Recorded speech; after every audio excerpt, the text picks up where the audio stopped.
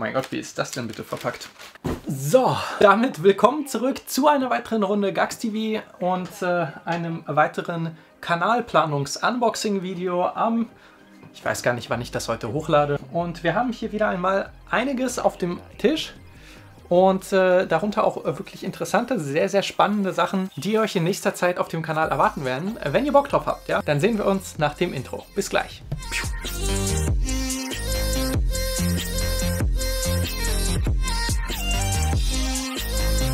Würde sagen, wir fangen einfach mal Schritt für Schritt an ähm, und starten hier mit dem Paket. Ja? Dieses Paket ähm, beinhaltet ja wohl einer der krassesten Produkte in Sachen Wasserkühlung. Ja. Ups.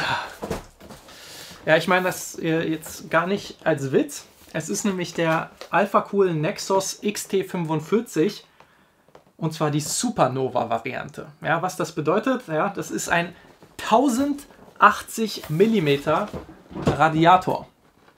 Ja, 1080 mm. Das heißt, wir haben hier die Radiatorfläche von drei 360 mm Radiatoren. Um das Ganze in Relation zu setzen, das hier ist äh, die Verpackung von meinem sehr, sehr dicken, sehr, sehr großen 360 mm Radiator.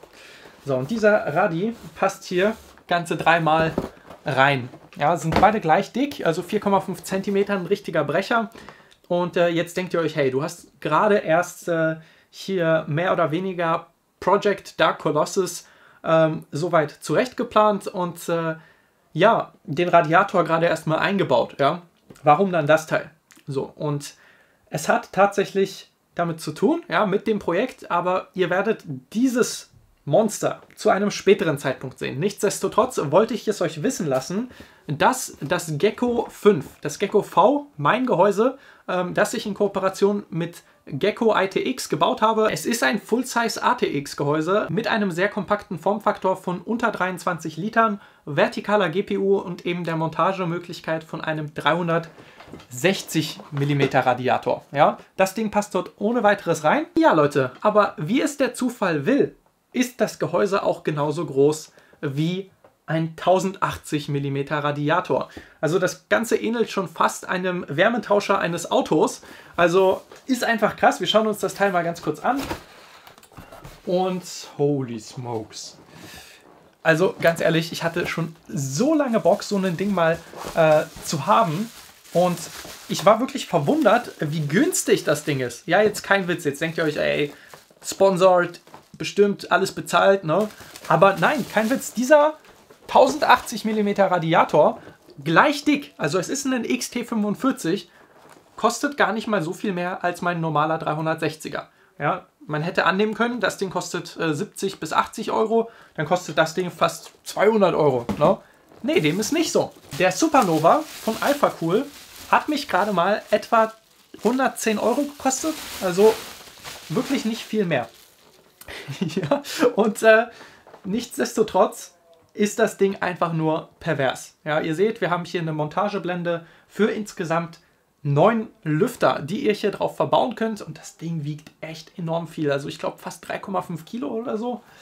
Die Rückseite entsprechend äh, ein einziges gigantisches Monster. Ja, so und nichtsdestotrotz Vollkupfer und ja, dieses Teil lässt sich auf der Rückseite des Gecko 5 montieren.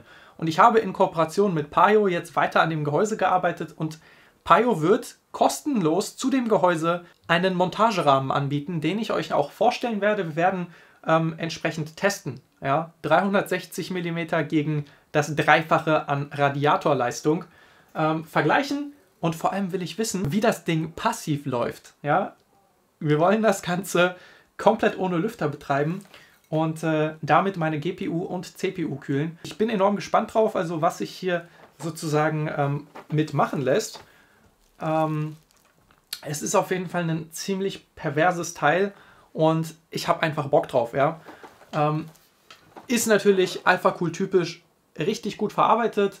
Ähm, kann man nichts gegen sagen. Wir haben hier auf der Unterseite entsprechend einen In- und Outlet und einmal einen Port zum B- und Entfüllen. Also wirklich komfortabel gelöst. Also es gibt, glaube ich, kein offizielles Gehäuse, das das Teil im Inneren verbauen kann. Und entsprechend bietet Alpha Cool ähm, auch einen Standfuß bzw. ein eigenes Gehäuse für dieses Teil an, dass man das Ganze neben seinen Rechner oder unter den Schreibtisch hinstellen kann. Ja. Aber wir wollen das Ganze am Gecko V in Project Dark Colossus und jetzt ergibt der Name hoffentlich für äh, euch mehr Sinn. Ja, das Ding wird nämlich ein Koloss von Wasserkühlung. Ja. Also einfach nur brutal, ja, brutal, sage ich euch, brutal. So, also der Alpha Cool Nexus XT45 als 1080 mm Supernova Edition demnächst auf dem Kanal. Ja, wird einfach nur mega spannend und ich habe da hier in der Relation auch äh, das andere Paket bestellt. Ja, ähm, und zwar ja, zwei Kleinigkeiten, die ich für dieses Projekt brauche. Zack. Und zwar ist das hier so eine PCIe-Slot-Durchführung. Ja, das heißt, wir haben hier ganz normal dort, wo die Grafikkarte reingesteckt wird, die Möglichkeit, eine Durchführung vom Inneren des Gehäuses nach außen hin durchzuführen. Ja? Also wir haben für die Wasserkühlung sozusagen zwei Montagepunkte hier und zwei Montagepunkte hier und können die Waterloop aus dem Gehäuse rausführen. Dafür ist das Ganze gedacht. Aber wie bereits gesagt, die Geschichte mit dem Supernova kommt zu einem späteren Zeitpunkt, aber ich hoffe, ich habe euer Interesse geweckt. Es wird dieses Jahr noch richtig, richtig spannend, was dieses Projekt angeht. Und äh, das nächste Projekt, was ansteht, ähm, ist dieses hier. Ja? Ähm, und zwar hat Cooler Master ähm, das NR200p entsprechend neu aufgelegt bzw. Ähm, in unterschiedlichsten Farben neu erstrahlen lassen. Ja? Und darunter hier an der Stelle das Gehäuse in Orange. Schauen wir uns einmal ganz kurz an. Ähm, und im selben Zug haben wir auch hier in der Master Series für das NR200 ähm, entsprechend eine eine ATX-Blende. Ja, also wir können in dem Gehäuse jetzt erstmalig auch ATX-Netzteile unterbringen. Das ist mega cool. Vorher war das Ganze auf SFX-Netzteile limitiert. Also wenn ihr richtig ans Limit gehen wollt, ja, dann könnt ihr das jetzt machen. Finde ich mega gut, ähm, dass das Ganze jetzt die Möglichkeit bietet. Und ja, äh, das Paket hier, ja, da wird sich jemand meiner Freunde sehr drüber freuen. Und zwar ist das hier eine RTX 3060 Ti von Inno3D. Äh, entsprechend eine Karte, die ich vor, oh, lasst mich nicht lügen, zwei, drei Monaten äh, bestellt habe für einen Preis von oh, 469 Euro oder so, also unter 500 Euro. Ja, und es ist eine 3060 Ti, ja, keine 3060, 3060 Ti. Und endlich ist die Bestellung durchgekommen. Ähm, man muss einfach nur ein bisschen Geduld haben und ein bisschen Glück. So, und ich habe die Karte damals nicht für mich bestellt, sondern entsprechend für Max. Ist einfach einer meiner besten Freunde und entsprechend hatte ich für ihn die Augen offen gehalten. Ähm, die 3060 Ti hier an der Stelle. Ja, denke ich, für dieses Jahr zu dem Preis ein No-Brainer. Er hat eine GTX 1060 und die wollten wir upgraden. Er meinte, hey, wenn du irgendwas siehst, ja, was sich lohnt, sag mir Bescheid und äh, dann werden wir das Ganze durchziehen. Und im selben Zug, ja, wie dieses ähm, Projekt mit der 3060 Ti, ja, hat er mich gefragt, hey, hast du nicht auch ein Gehäuse da? Ähm, ich habe irgendwie das Gefühl, mein jetziges, ja, das äh, taugt nicht mehr ganz und äh, wird relativ heiß. Ja, er hatte das äh, Fractal Note 202, also ein sehr, sehr kompaktes ITX-Gehäuse und äh, entsprechend meinte ich zu ihm, hey, weißt du was, cooler Master, hat was Schickes rausgebracht. Und zwar das NR200p. Was hältst du davon, wenn wir dein jetziges System in dieses Gehäuse umziehen lassen? Und äh, dann hat er die Farbe in Orange gesehen und äh, ist einfach hin und weg gewesen. Und ich würde sagen, zu guter Letzt schauen wir uns das Ganze einmal an. Wie bereits gesagt, es gibt äh, einen Haufen neuer Farben von lila, türkis, äh, weiß, schwarz bis zu orange ja, und rosa sind alle Farben mit abgedeckt. Und dieses hier ja, das fand er am geilsten und entsprechend, ja, schauen wir uns das doch ganz kurz mal an. Es ist bestimmt inzwischen fast vier Jahre her, dass ich in sein System gebaut hatte. Ähm, dazu gibt es übrigens auch einen Bildlog, ähm, äh, könnt ihr euch gerne anschauen. Ja, war tatsächlich einer der ersten PCs, ja, die ich so auf dem Kanal äh, zusammengebaut hatte. Also ist schon sehr, sehr alt, das Video. Und oh mein Gott, das sieht ja richtig fresh aus. Hier ist nämlich das Tempered Glas ähm, einzeln eingepackt. Ja, ich habe das NR200p bereits für euch vorgestellt. Aber ich finde es ganz cool, ja, dass es erstens mit einem Airflow-Panel kommt und zweitens das Tempered Glass dann halt hier schön separat abgepackt ist. Also es ist einfach ein richtig geiles Gehäuse, was Cooler Master da äh, sich ausgedacht hat. Also nicht ohne Grund einer der beliebtesten ITX-Gehäuse des Jahres. Schauen wir uns das doch mal an. Boah, das ist ja fast schon eine Linus Tech Tips Edition. Boah, und das hat sogar schwarze, schwarze Akzente. First Preview von dem NR200p in Orange. Und ey, das sieht richtig nice aus, muss ich ehrlich zugeben. Ähm, ultra fresh hier mit dem schwarzen Filter auch einfach richtig schöner Kontrast, auch mit schwarzen Füßen. Innenliegende schwarze Filter, oben schwarzer Filter. Ja, mit diesen schwarzen Akzenten und diesem richtig knalligen Neon-Orange. Ja, und dem schwarzen Logo hier von Cooler Master sieht das echt mega nice aus. So, wenn wir schon das Gehäuse hier stehen haben, können wir ja auch einen Blick auf die Grafikkarte werfen. Ja, muss sich ja gelohnt haben, wenn ihr hier zum Unboxing-Video gekommen seid. Wie bereits gesagt, das ist die äh, Ino 3D RTX 3060 Ti Twin X2 als LHR Edition, also Low Hash Rate.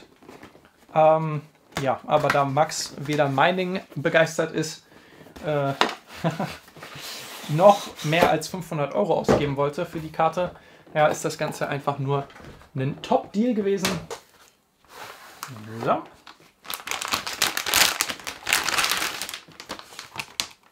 Oh. Okay, also wir haben zwei Lüfter, ja, deswegen äh, 2X und die sehen auch relativ offen, schön aus. Und hier die eigentliche Karte. Ja, und äh, ja, was ich hier sehe, ist eine potenzielle ITX-Karte, ja. Denn es ist eine 3060 Ti, aber die eigentliche PCB geht nur bis hier, ja. Wir haben hier nämlich ein komplettes Pass-Through-Design mit Metall-Backplate. Also es sieht echt gut aus, muss ich sagen. Ähm, ja, der Lüfter kann hier komplett durchpusten und dürfte entsprechend für sehr gute Temperaturen sorgen. Ähm, ja, hätte aber auch von der PCB eine kleine ITX-Karte sein können. So, hier ansonsten äh, ja, zweimal HDMI, zweimal DisplayPort und äh, ja, einfach ein schönes Design von der Karte her. Und ich denke, die wird sich ganz wunderbar hier in dem Gehäuse machen. Ich werde ihn mal fragen, ob er dort Tempered Glass reinhaben will oder ob wir nicht einfach das schöne orangene Seitenfenster mit vertikaler GPU-Montage hier zum Einsatz bringen werden und äh, dann das Pass-Through-Design hier von der Seite richtig schön die Luft einziehen lassen können. Ähm, ja, das ist soweit der Plan. Ich hoffe, äh, ihr habt Bock drauf, entsprechend einen kleinen Bildlog zu sehen. Ja, Freunde, zu guter Letzt hat es mit etwas Verspätung doch noch ein Paket mit in das Unboxing-Video heute reingeschafft. Das ist gerade frisch aus Barcelona eingetrudelt und äh, entsprechend dachte ich mir, dass ich wenigstens das noch einmal mit reinnehme. Dann haben wir nächste Woche wenigstens ein bisschen weniger zu tun. Und ich würde sagen, ja, wir machen das Ganze jetzt einfach mal auf. So, und ähm, ja, ich hätte nicht gedacht, dass ich diesen Prozessor noch einmal bestellen würde. Denn, oh mein Gott, wie ist das denn bitte verpackt? Okay, ähm, ja, gönnt euch das mal. Ich habe einen Ryzen 3600 bestellt. Und zwar ist der derzeit überall ausverkauft. Ja? Der Ryzen 5600X, entsprechend der neue Zen 3, geht immer weiter runter mit dem Preis. Ist inzwischen immer mal wieder für 230, 240, 250 Euro erhältlich. Ähm, und der Ryzen 3600, ja, der zeitweise unter 150 Euro im Handel erhältlich war, meine Budget-Preis-Leistungsempfehlung innerhalb der letzten Monate äh, schlechthin gewesen. Auch die CPU, die ich lange Zeit lang selbst benutzt habe, die ist inzwischen fast überall ausverkauft. Und entsprechend sind die Preise auf 200 Euro aufwärts hochgegangen. Also Ähm, teilweise war der Preis sogar schon auf Augenhöhe mit dem 5600X, komplett absurd. Und entsprechend habe ich bei diesem Angebot hier ähm, ja, zuschlagen müssen. Für 135 Euro war das Ding ausgeschrieben mit Zustand sehr gut. Es war nicht die Rede von dem Boxkühler, also da bin ich schon mal relativ äh, angetan, dass der hier mit im Paket beigelegt wurde. Ja, sogar relativ gut und gründlich gereinigt. Sieht jetzt nicht aus, als ob er lange im Betrieb war. Können wir aber auch gleich einmal abchecken, was die Batchnummer von dem Prozessor angeht. Also wann der Ryzen 3600 hier gefertigt wurde. Ja, und vor allem, wie das Ding hier äh, verschickt wurde. Schaut euch das mal an. Wir haben hier irgendwie so 3D gedruckte Trays, die mit Tesafilm zusammen fixiert wurden. Also, naja, hoffen wir, dass das Teil in astreinem Zustand ist. Also sehr gut ist sehr optimistisch. da bin ich gespannt drauf, ob der Verkäufer hier Wort behalten hat. Und ja, der Moment der Wahrheit. Okay, sieht schon mal aus wie ein Ryzen 3600. Ja, da haben wir ihn, Ryzen 3600. Und das Spannende ist, die Batchnummer, ja, 2110 PGS. Und damit ist das Teil ähm, top aktuell. Was wichtig ist, ist, dass sämtliche Pins intakt sind und nicht verbogen. So, und das schaut doch relativ gut aus. Also es scheint so, dass wir zu Zeiten der Ryzen 3000er Knappheit einen richtigen Schnapper gemacht haben. Ich werde ganz kurz das Board rausholen, auf dem ich das verbauen werde. Ja, denn ich habe diesen Chip hier äh, für mein eigenes System besorgt, mein Zweitsystem. Ja, der Ryzen 5600X bleibt, solange die Ryzen 6000er noch nicht draußen sind, entsprechend in meinem Main-System. Und ähm, ja, ich habe mich dazu entschlossen, den Ryzen 3600 in mein ähm, Zweitsystem zu verbauen, nicht den 5600X. So, den legen wir mal hier ganz kurz zur Seite. Ähm, wieso? Ja, ganz einfach. Ich werde lediglich die RTX 3060, ja, habe ich in dem letzten Unboxing-Video gezeigt, die Aero ITX, die werde ich verwenden. Und ähm, ich habe bereits einen Bottleneck-Test gemacht. Vielleicht ist der sogar schon vor diesem Video hier online. Äh, wenn ja, dann verlinke ich das Ganze. Auf jeden Fall ähm, ist selbst in 1080p und WQHD ein Ryzen 3600 gegenüber dem 5600X mit einer RTX 3060 steht dem Ganzen im Nichts nach. Ja? So, und jetzt kommt der große CPU-Pin-Test. Ja? Wir werden das Ganze mit äh, dem Dreieck, so, kleines goldenes Dreieck hier, hier entsprechend die Kante, ähm, einfach mal drauflegen und schauen, ob die CPU sozusagen ohne Kraft in den Sockel fällt. So, das sieht gut aus. Alle Ecken liegen auf. So. Wunderbar. Ja, der Ryzen 3600 scheint zu passen. Alle Pins scheinen intakt zu sein. Und damit haben wir einen echt guten Deal gemacht. Bis dahin, ja, danke ich euch erstmal fürs Einschalten und wir sehen uns dann das nächste Mal zu einer weiteren Runde Gax TV. Bis dahin, wie jedes Mal Gaming Fitness. Let's you see on Gax TV.